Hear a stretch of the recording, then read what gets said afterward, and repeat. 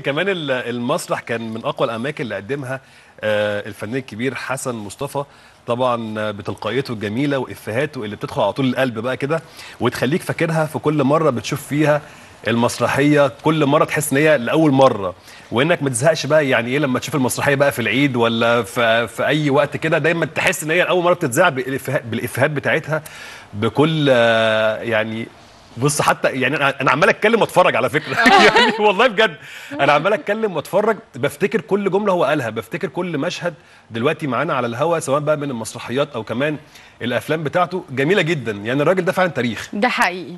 طبعا كمان من أشهر مسرحياته اللي قدمها كان مدرسة المشاغبين والعيال كبرت وكدابين قوي وحواء الساعة 12 وسيدتي الجميلة. وطبعا لسه الليسته كتير جدا. ما شاء الله طويلة.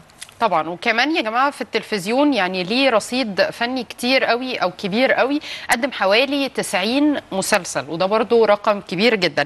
آه هو أول واحد آه قدم المنوعات في التلفزيون ومن أهم أعماله الدرامية طبعا من الذي لا يحب فاطمة بكيزة وزغلول. أنا وإنت وبابا في المشمش رأفت الهجان ترويض الشرسة يتربى في عزه البخيل وأنا عباس الأبيض في اليوم يسود وشيخ العرب همام ما شاء الله. يعني. أنتوا شايفين من من أيام الأبيض والاسود لحد لحد آخر أعماله اللي هي بالظبط. تعتبر جديدة شوية.